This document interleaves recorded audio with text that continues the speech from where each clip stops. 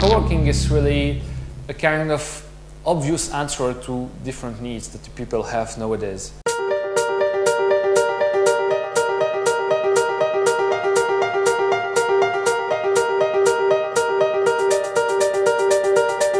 And San Francisco was discovered by a Catalan called Gaspar de Portola.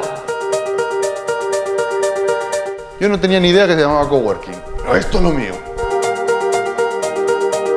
La comunidad es la que, la que hace que salgamos adelante, la comunidad es lo principal. O sea, es como una incertidumbre de esto de coworking, estamos avanzando y algo más potente va a venir que no sabemos qué es. We, we, we need less to own things, but it's better to share it. Economía colaborativa es una realidad. Punto.